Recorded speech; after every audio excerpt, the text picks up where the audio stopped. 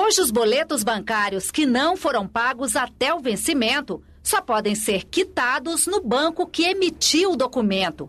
Uma dor de cabeça para quem não conseguiu pagar no dia. Muitas vezes você tem dificuldade de acesso ou de ou de, ou de viajar para um determinado local para fazer pagamento, né? Um projeto em tramitação no Senado pode facilitar a vida de quem costuma perder o prazo de pagamento. De acordo com a proposta, os bancos serão obrigados a receber os boletos de contas mesmo depois de vencidos. Vai facilitar muito para o usuário, até porque a gente fica muito nas filas durante o dia, perde muito tempo.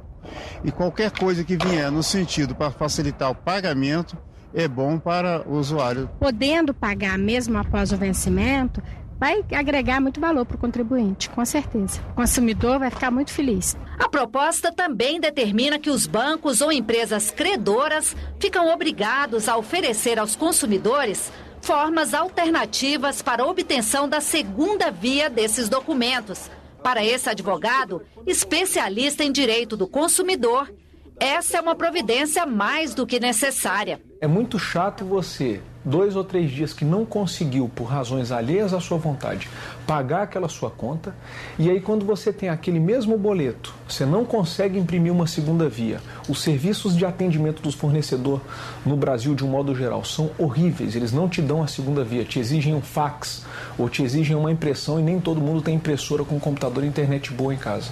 E aí você vai demorar 15, 20 dias para tentar pagar aquilo, vai perder um mês tentando pagar aquela conta.